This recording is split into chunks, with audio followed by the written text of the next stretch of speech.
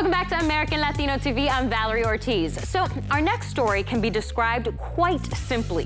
She is the best Latina surfer of all time. She is known as one of the best Peruvian athletes of any sport, also of all time. And she might just be the pioneer who opened the gates for surfers all over Latin America.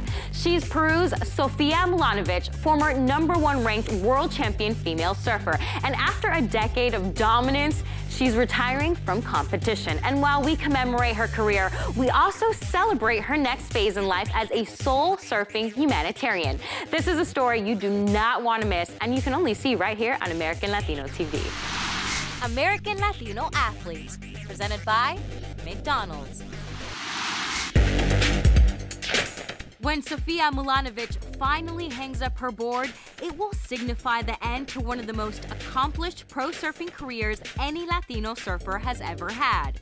To find out what's next, first you need to understand how it all began.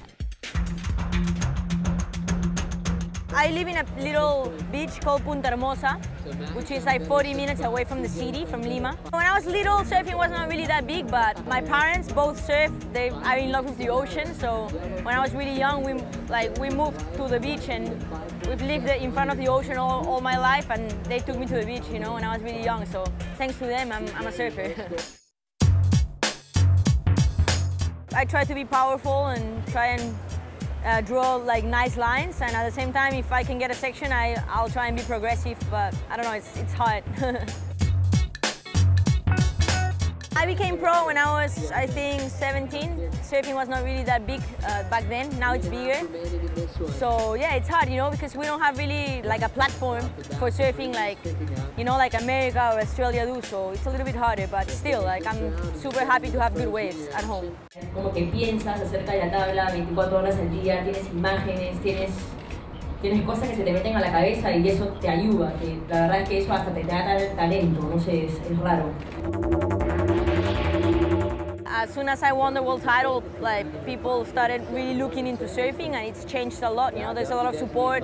There's like more of a platform. There's contests. There's coaches. There's a whole industry of surfing, which I'm really, I'm really happy to see. You know, because I really want to see another world champion maybe from Peru or Latin America.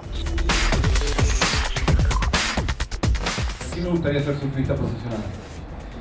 Bastante, ¿no? I think like South American surfers are really, really good at the moment and like we're starting to really get um, more confidence in our surfing. For me, well, I was really thinking strongly that this was going to be my last year on tour. I think it's still going to be, but sometimes when I have hits and I have good fun with my hits and stuff, I go in and I'm like, oh, should I? I don't know if I want to retire, you know? It's hard, you know, like when you love what you do and, and you can compete and you know, you get those highs from competing and stuff, it, it's hard to let it go. But I've already started like some new projects at home. Like I started a non-profit to, serve, to help the kids there in Peru. Tienen un sitio lindo acá para surfear y para todo, y aparte la gente es súper, súper chévere. Y bueno, estoy acá para poder contestar todas sus preguntas y poder contarles algunas experiencias. I just think it's really important when you're young, when you're starting something that you can, you know that people back you up. I think it's really important. Like I really felt that support from my people, so I want to show those kids that I'm there to support them too. And you know, like you never know, maybe there's gonna be a world champ or there's gonna be an amazing artist or musician. If you believe in them, they believe in themselves, kind of thing.